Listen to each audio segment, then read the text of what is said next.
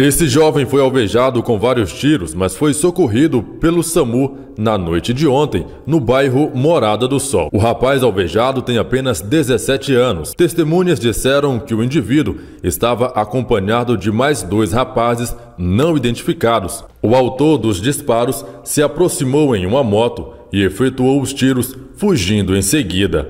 O rapaz caiu no meio da rua e foi arrastado para dentro de um bar pelos dois indivíduos que estavam com ele, que o deixaram no local e saíram correndo. É, esse indivíduo é, que foi baleado é, foi ali na Morada do Sol, já no início do segundo turno né, de serviço aqui da Polícia Militar, em que esse rapaz estava caminhando ali por, por uma das ruas ali da Morada do Sol.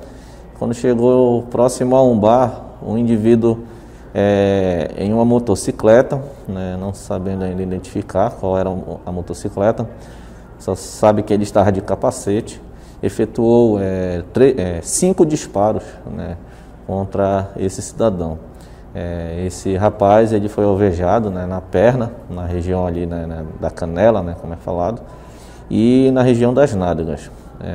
E a princípio ele estava tranquilo, né, na hora lá, quando a guarnição chegou, ele estava tranquilo, só aguardando aí a chegada, né, do, do SAMU. É, ele foi encaminhado aí para, para o hospital regional. É, a princípio aí ele não corre aí risco de morte. É, nós é, repassamos essas informações, né, para a Polícia Civil, né, para que eles possam aí estar averiguando aí, né, o real motivo né, dessa tentativa de homicídio.